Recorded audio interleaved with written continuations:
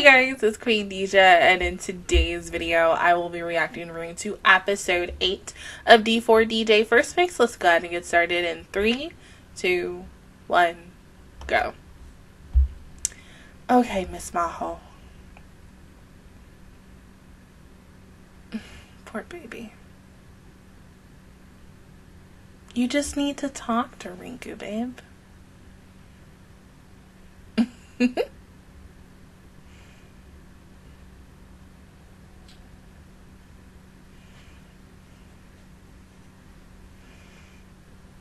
Exactly, but because Maho is feeling some type of way.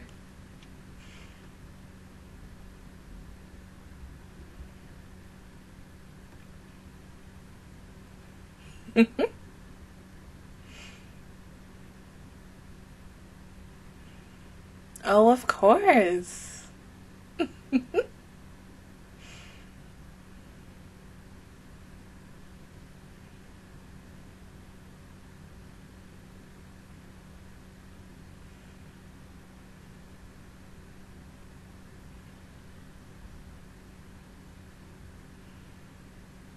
Mm-hmm, of course. You gotta feel bad for Maho. I I just want her. Either she's gonna do one of two things. She's going to confront um Rinku about this, or she's going to at least maybe um talk to like somebody Peaky P-key. Maybe Kyoko maybe? I don't know. I mean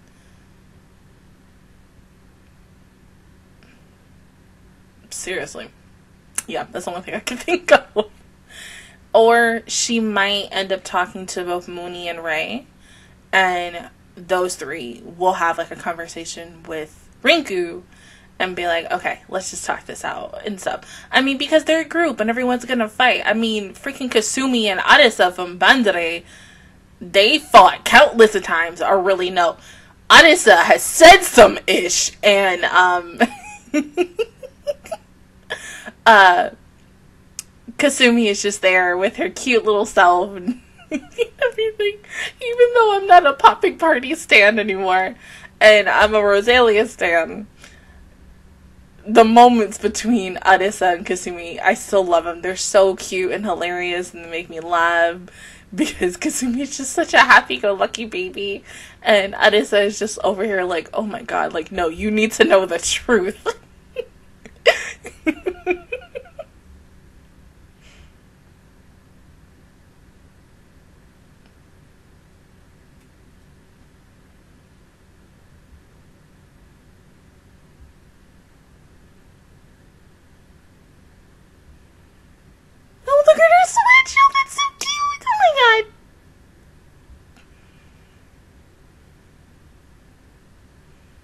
Yeah, you're making yourself stressed about this. You can't do that, you know? Just talk to her, call her, text her, something, FaceTime her. Hmm?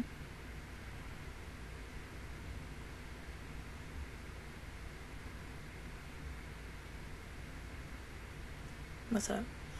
Oh.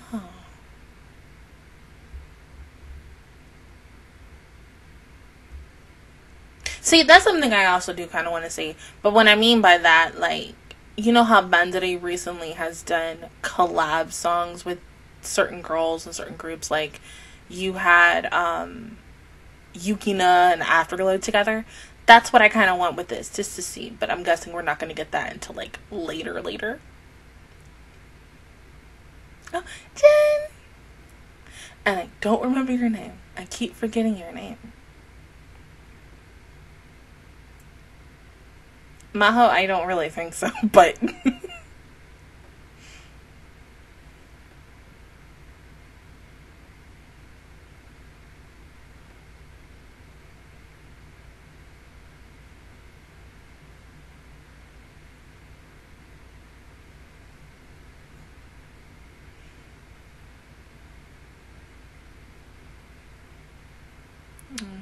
Maho. Yeah, exactly. It's just a game, but because Maho overheard, yeah.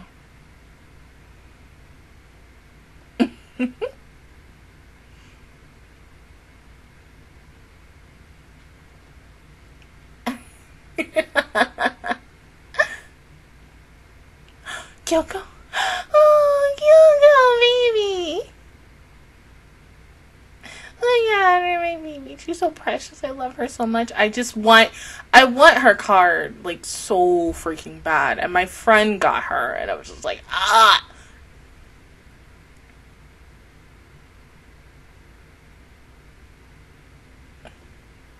Oh, it's so cute. I can't. Precious baby.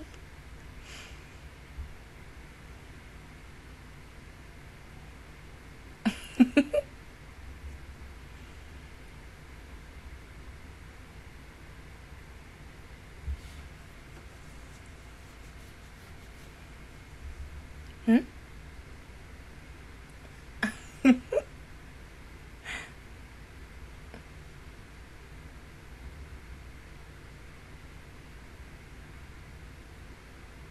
hmm? Sure. Maho, seriously, don't beat yourself up about this. But she is, knowing her.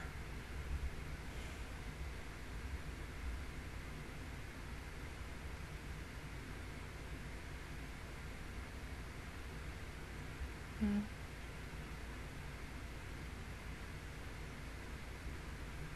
Yeah, she's so gonna beat herself up. Oh my god! Honey.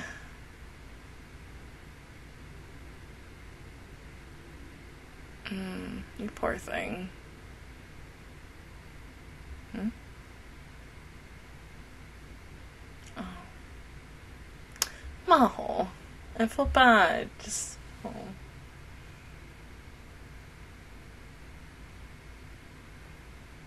yeah, but.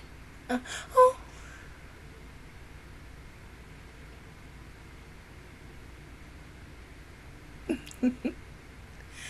Oh my god. Maho, I, I swear to you, it's probably not what you think. I don't know. I, I feel like if they have like five people, that's when you need to make a band band, not like a freaking DJ unit, but it's not that. It's gotta be something else. Um. Oh, okay, yeah. Finish the song? No, she's just. It, it would be awkward for her. Maybe Riku should go see her. Since, you know, she went home to finish the song.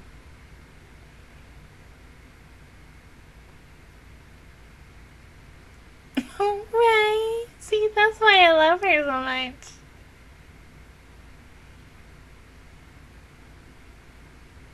Still nothing, huh? Don't worry, you'll figure it out. Oh, you poor baby. Yeah, maybe.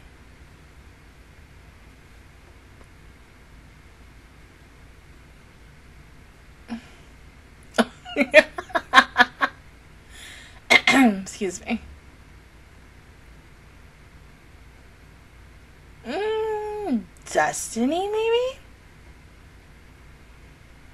Or just a chance? Oh, yeah.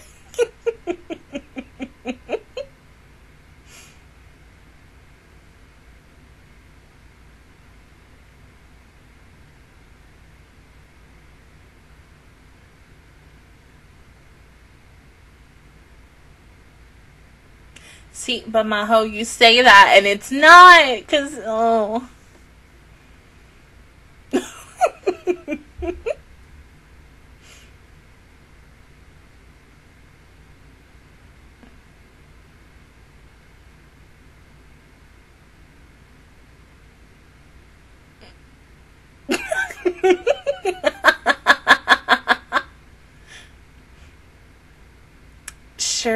I mean, that face.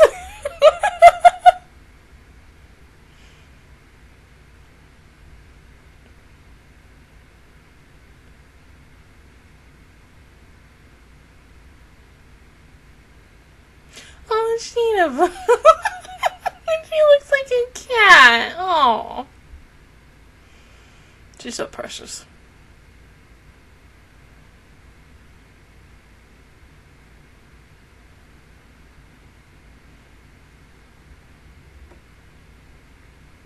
Oh, you.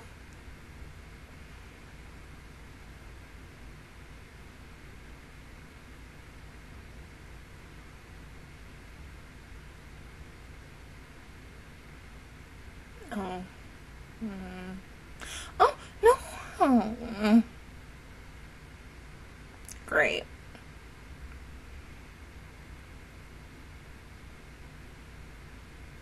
No, no, no, no. I don't think so. Oh.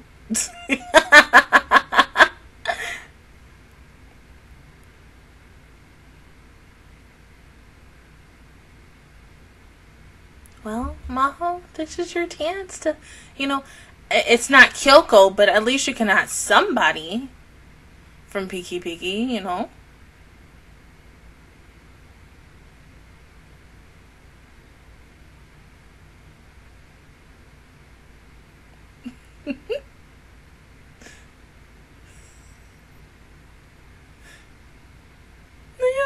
Look happy she is. Oh my god, so cute.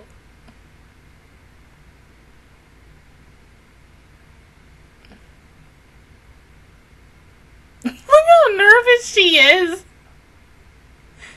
Oh, babe. It's okay.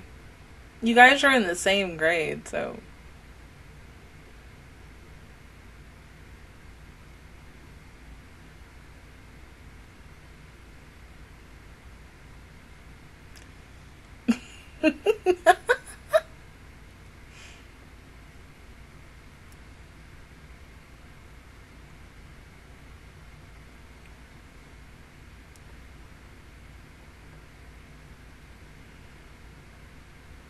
Mm. See, that could possibly be a no. Mm, yeah.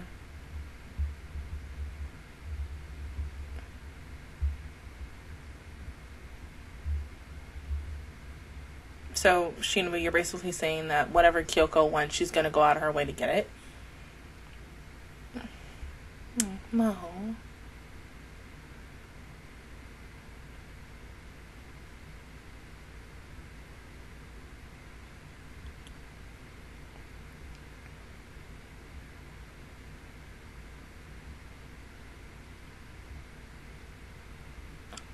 Honey. Poor baby. No, she belongs with you guys. No. Mhm.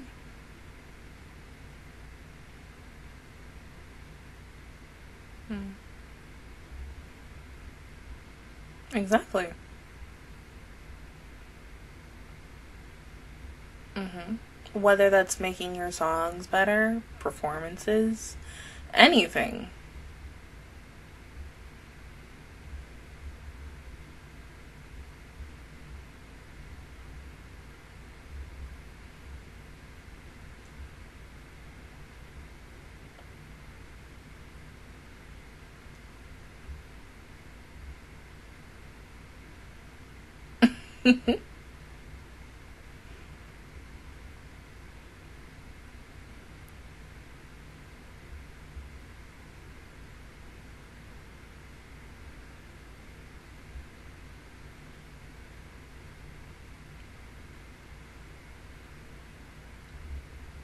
Oh, baby Cinnabon. Oh. Of course. Could you found your own sound, just like anyone else would?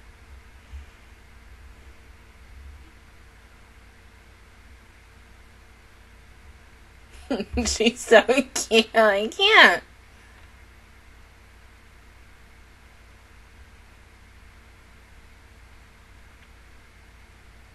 Kyoko.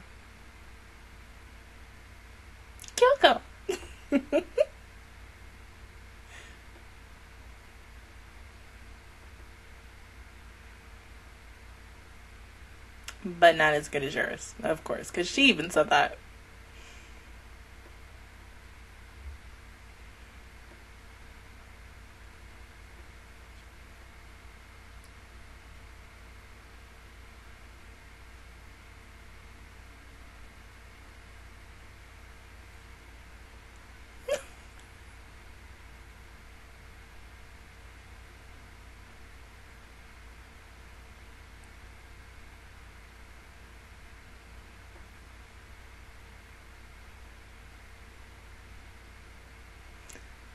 Oh.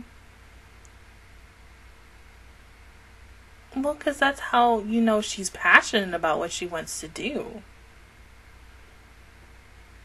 And she's taking it seriously and she wants to try her best to, you know, win you over.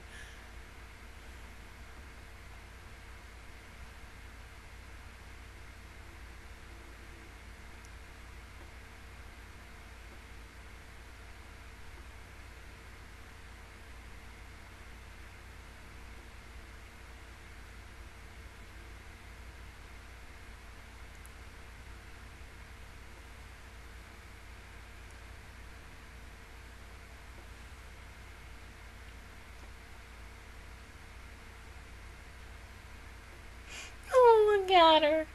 At least she's having fun. Of course, because not every audience is going to like something.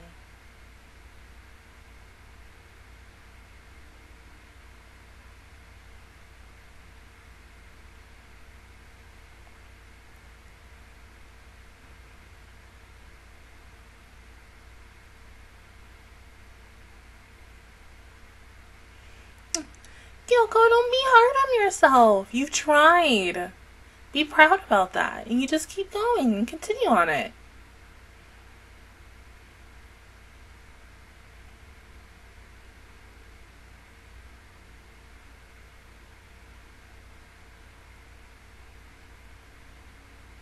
Hmm?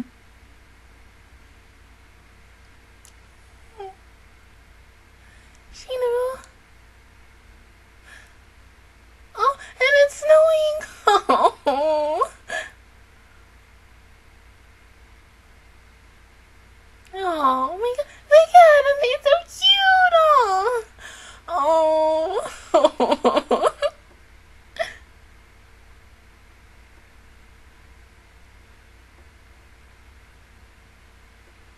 Is it bad that I just want like a spin off of Peaky P-key? Or like a OVA, how they did with Roselia?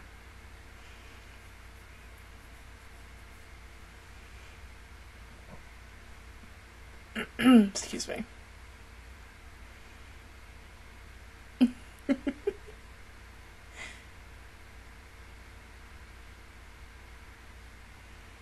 Picky, picky. It's perfect. Mm-hmm.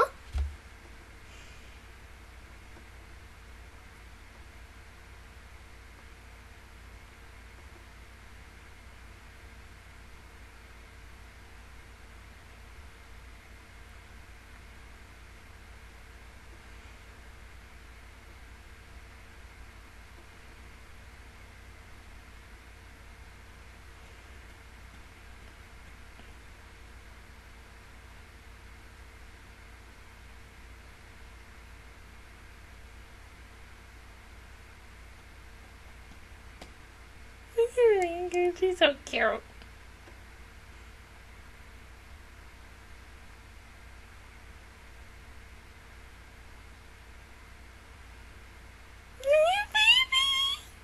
Baby. Huh?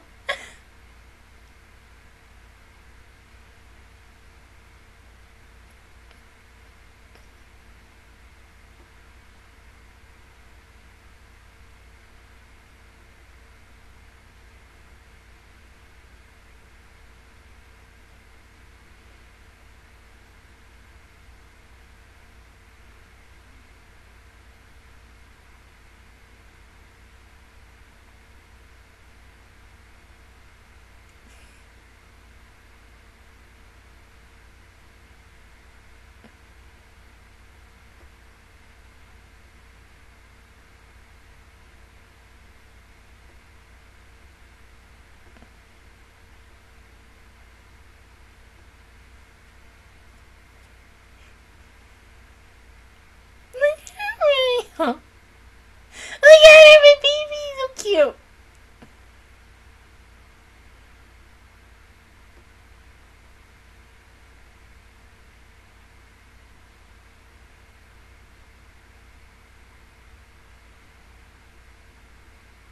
Oh, that was so adorable, girls.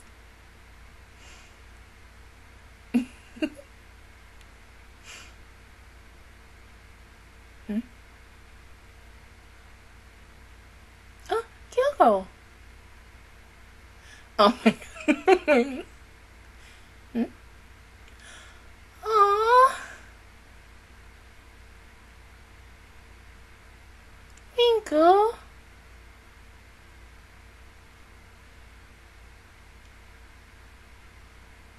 Oh, babe.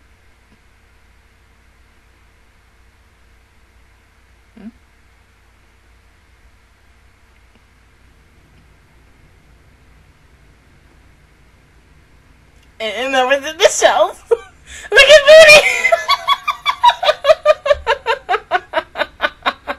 Muni! Muni just like, what the fuck?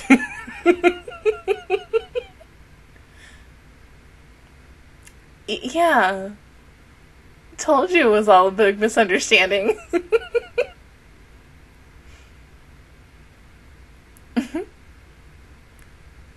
oh, Maho baby, it's okay. Oh, poor baby. This is a cute episode. Oh, I hope Rinku like hugged the crap out of Maho, and then Maho would have been like, "Because I thought you were gonna join Peaky P-key." Then it would have been like even a bigger explanation and misunderstanding at the same time. But this was cute. I'm glad that Shinobu was the one who was able to talk to Maho because she needed somebody to talk to.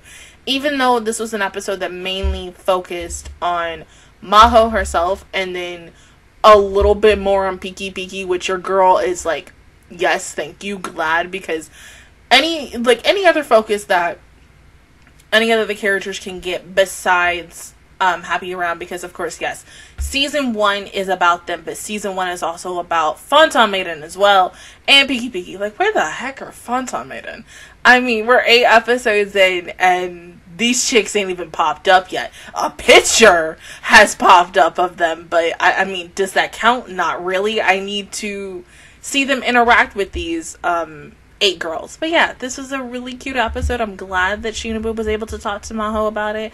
I'm glad that Maho, you know, used a song, a brand new song, and, you know, hyped up Maho, I mean, not Maho, Rinku, and everyone else. And then, yeah, even Rinku making necklaces. It's adorable with Kyoko's help. Like, oh.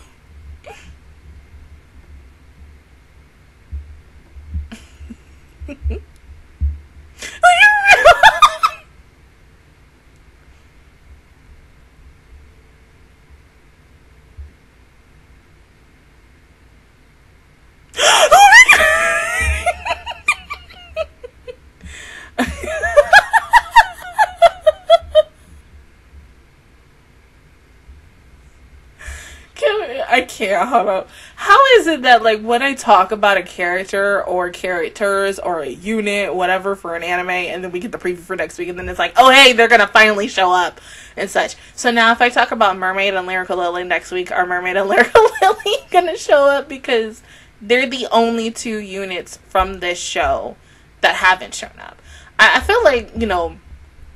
Let's talk a little bit more about this game real quick, even though um, we're not really a year into this game. We're only really about uh, almost two. Hold on, um, November, October to the November, whatever day, whatever day in October it came out to November, and then same thing. So about almost two months. Next month, next month, next month we'll make three. Going into this game a year from now, do I feel like they might add another group? Because at first I remember when like Lyrical Lily when they showed everyone except Lyrical Lily. And I was assuming that they would have did like they did with Benzity when they were adding um Roz and Morfonica specifically like Roz. Like they were going to wait until season 2 came up and then there would be like oh, here's Lyrical Lily and here's Mermaid or here's Roz and Ish and like Otae ends up joining Roz for a certain amount of time where she's on like a temporary hiatus with Popping Party. And then eventually, you know, Ish happens and stuff like that. And you know, Otae's like, you know, my home is Popping Party and it will always be Popping Party. And that's it.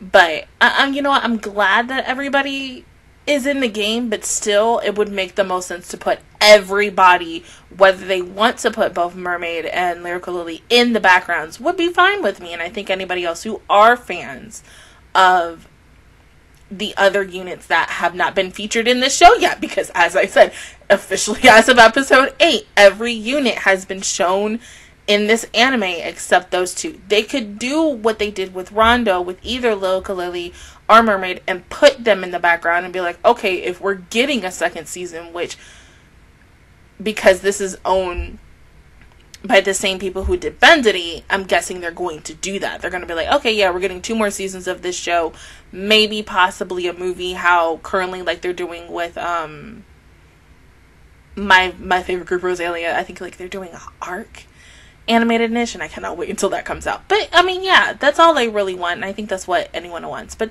this was a really good episode. I loved it for the themes and the lessons that we learned, especially from Maho, because she needed this.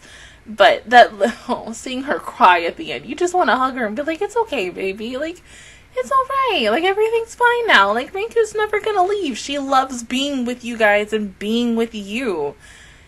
You guys started this together and you're gonna finish it no matter what. Like even until you're like old and gray so who knows? But yeah other than that guys that is my reaction view towards episode 8 of d4dj first mix. If you guys enjoyed it please give me a like. Really helps me out. Also subscribe to my channel. I make videos every single day.